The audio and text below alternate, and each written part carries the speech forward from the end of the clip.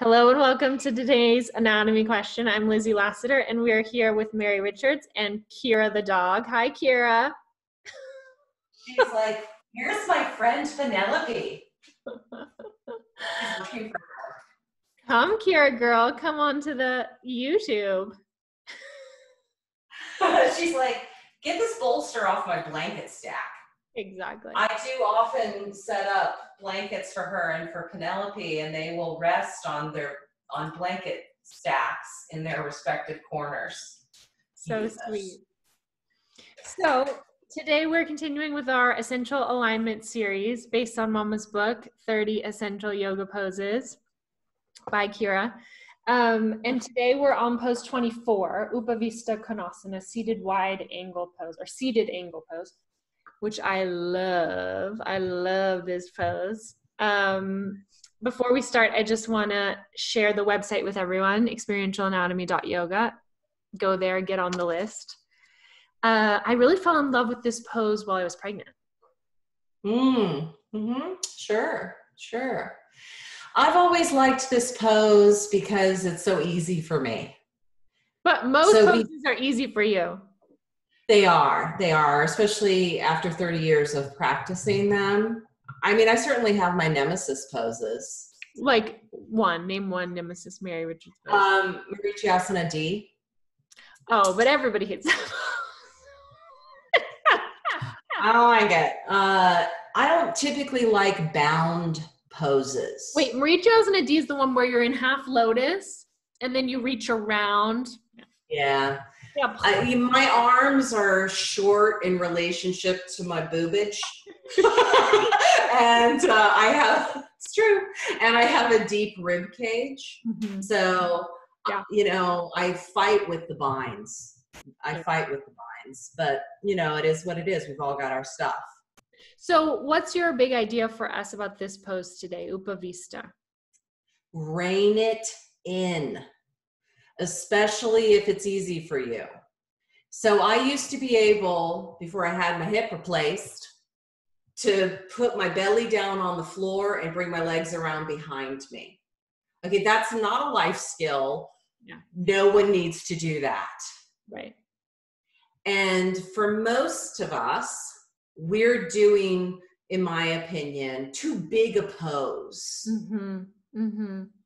and so so that we can reap the rewards especially for the groins and the pelvic floor that's why we like it so much when we're pregnant because it stretches the pelvic floor and especially as pregnancy progresses you feel the pressure in the pelvic floor Yeah. uh, at least i remember i still remember that and my kids are 19 and 16 so Yeah.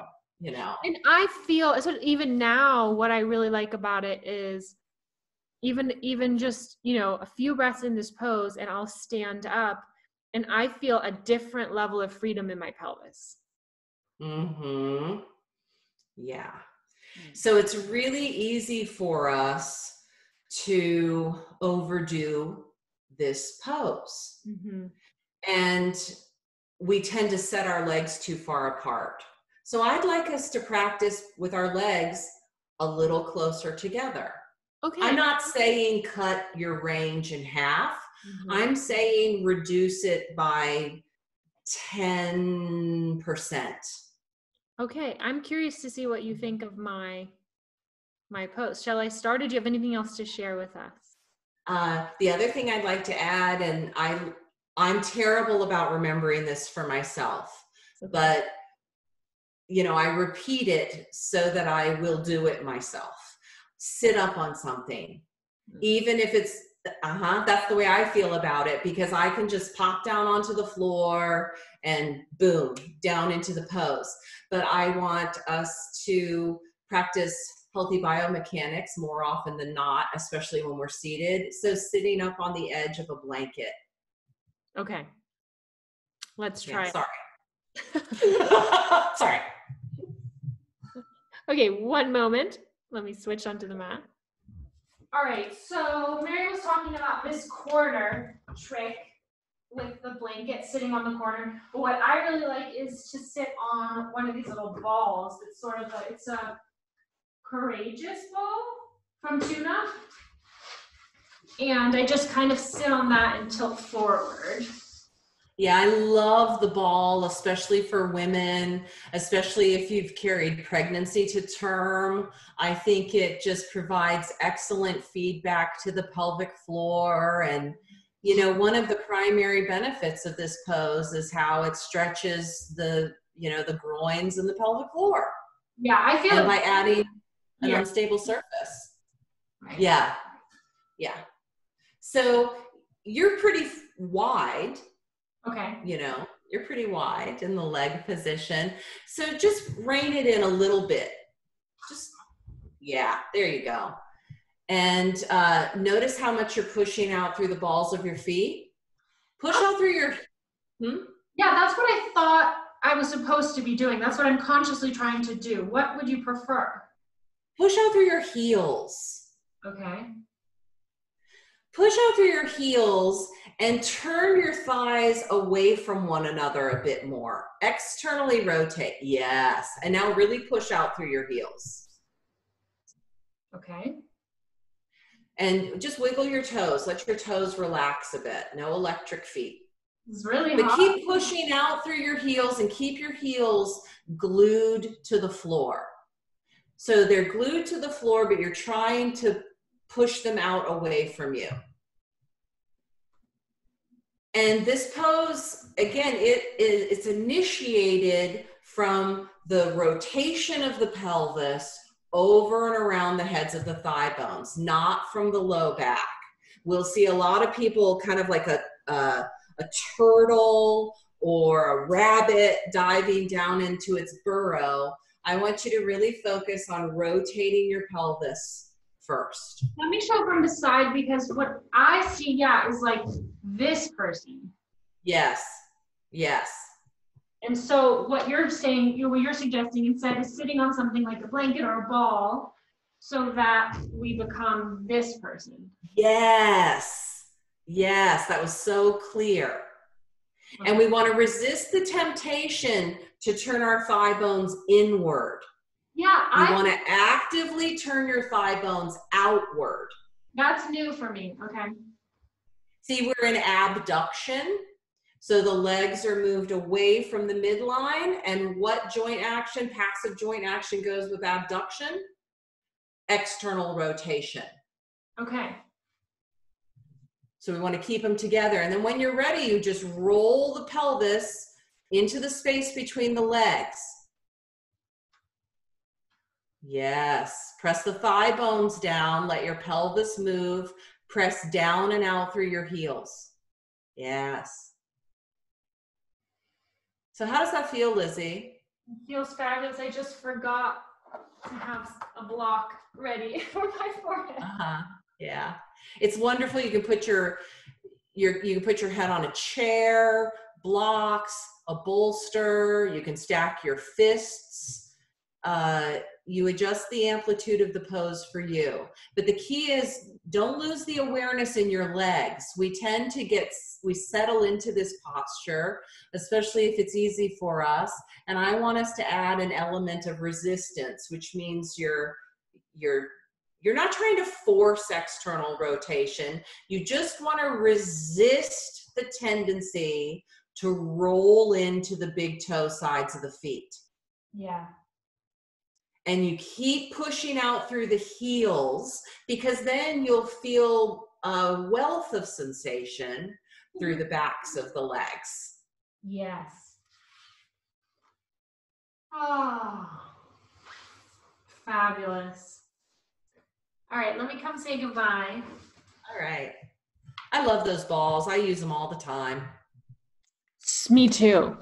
So the what I found interesting recently was thinking about this pose being really beneficial surprisingly as we age because we can lose this ability in our in our legs to open in that direction as we age which you might not think you need in everyday life but it means you might not be able to ride a bicycle anymore or you know a, a, motorcycle or you know like be able to get on a horse or eh, like those kind of mo- movements because you literally your legs don't your your hip joints have lost that range of motion right mary it can make it hard to put your shoes on mm-hmm. and we want to preserve that for sure and the key is again that we maintain an alertness in the legs mm-hmm. and so this is thinking about what naturally goes with the pose. So the legs are farther apart. That means no internal rotation.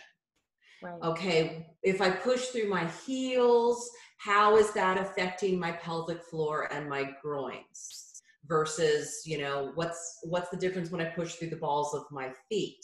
Mm-hmm. So I like the heels because I'm thinking about the kinetic chain. Mm-hmm and how I can, you know, really enliven the posterior kinetic chain in particular, because it's really the back body that's pulling us around. Mm-hmm. Mm-hmm. Mm.